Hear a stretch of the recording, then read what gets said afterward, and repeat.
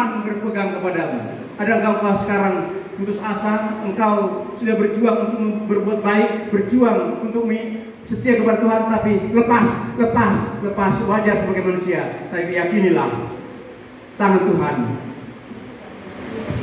akan berpegang. Karena ia tidak mau Anda binasa, karena dia sudah mati di kayu salib untuk kita, untuk menebus kita, memperjuangkan kita, sehingga ia pasti memelihara kita, bahkan memelihara kita seperti anaknya, bahkan memelihara kita sebagai seperti biji matanya. Nah, sekarang langkah yang terakhir. Kalau kita sudah diselamatkan dan Paulus berkata dalam Efesus yang kedua, keselamatan kita itu dasarnya adalah kasih karunia. Kasih karunia itu artinya hadiah. Jadi pemberian kepada orang yang tidak layak menerimanya. Itulah kasih karunia. Sebenarnya kita nggak layak menerima keselamatan, tidak layak menerima pengampunan. Pak dosa godang dohita, ya kan? Saya ini kadang-kadang melihat jemaat hari Minggu mengaku dosa. Belum lagi hari Minggu depan, hari Seninnya sudah berdosa lagi. Ya kan? Udah mengaku lagi.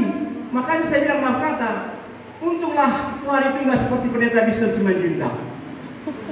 Kalau pendeta Simanjuntak Tuhan itu merasa sekali, satu kali kau lakukan apa dah? Suatu kali kau sakiti hati ini masih ku maafkan. Dua kali kau sakiti hati ini juga ku maafkan. Tapi jangan sampai tiga kali, jangan Mungkinkah ada, mungkinkah ada urusi lain? Jadi sekali kemaafkan, dua kali, tiga kali udah habis. Cuma Tuhan berapa kali, berapa kali memaafkan Anda? Berapa kali? Tiga kali? Kesalahan berkali-kali, beratus kali, beribu kali. Makanya aku bilang untung bukan penjelasan menyuka Tuhan itu. Kalau enggak, pusat aku sih. Tahu pusat. Biar bilang, mati mama sini. Kalian ini semalam baru mengaku dosa, ini berbuat dosa lagi. Semalam udah berbohong, ngaku nggak mau berbohong lagi, berbohong lagi. Bisa nggak dipusat sama Tuhan kita? Bisa nggak? Ingat, bisa meradian pendeta Kristen Simanjunta. Bisa nggak? Bisa. Wih, baru semalam khotbah sama kami di Jimbrana, ya Jimbrana, Jimbrana, Pribrana. Mau semalam, mau tadi, ya. Kalau kau sudah mau panggil, dengan cara apa pun bisa. Unang jolo, be. Nah, itulah sebabnya kasih karunia Tuhan itu sangat-sangat besar Bapak Ibu mengasihi kita, memelihara kita, menyelamatkan kita dan melindungi kita sampai sekarang. Itu sebabnya Paulus katakan sebab kasih karunia karena kasih karunia kamu diselamatkan bukan karena engkau lebih baik dari orang lain, bukan karena engkau hebat, bukan karena engkau kaya dan sebagainya. Tapi engkau diselamatkan karena kasih karunia Tuhan semata-mata. Itu bukan hasil usahamu, tetapi pemberian Allah. Jadi kalau kita diselamatkan dengan keselamatan yang sama, orang-orang baca jago dah merasa lebih kaya, lebih pintar, lebih apa, kita semua anggota tubuh Kristus. Maka jaga persekutuan, jaga relasimu, jaga hubunganmu dengan tetangga, dengan orang lain, ya.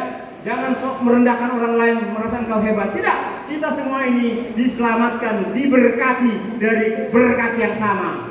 Karena bukan Tuhan, tidak seorang pun yang bisa seperti apa kita sekarang ini. Amin.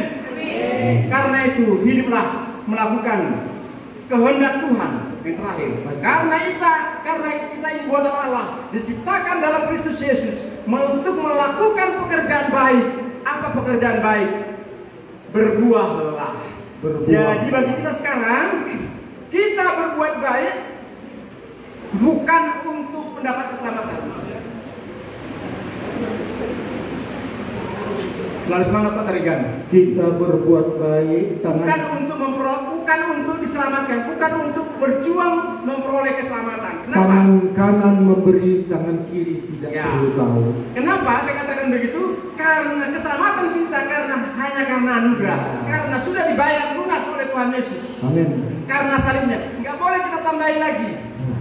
Ya, nggak boleh kita tambahin, kita kurangi. Boleh perbuatan baik, boleh, tapi bukan untuk memperoleh keselamatan. Keselamatan sudah dikerjakan oleh Kristus dikaruniakan. Tapi perbuatan baik adalah buah keselamatan. Go? Enggak dong? Nah, jadi kita berbuat baik karena kita sudah diselamatkan. Kita memberikan persembahan, semakin besarlah persembahan.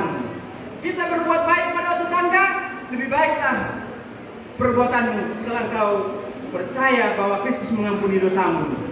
Ya, maafkan orang lain, bukan kau dimaafkan, tapi karena Tuhan Yesus sudah mengampuni engkau, sudah memaafkan engkau. Karena itu lakukanlah pekerjaan baik yang dipersiapkan Allah sebelumnya. Ia mau supaya kita hidup di dalamnya. Dan Filipi 3 ayat 13 berkata, tetapi ini yang kulakukan.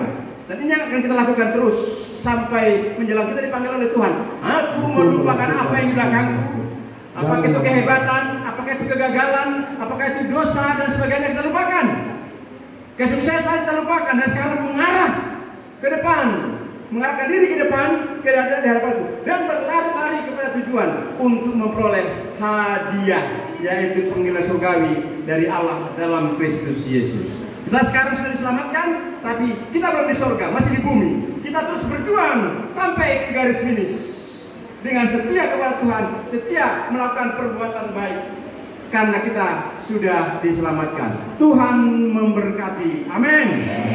Bapak Pendeta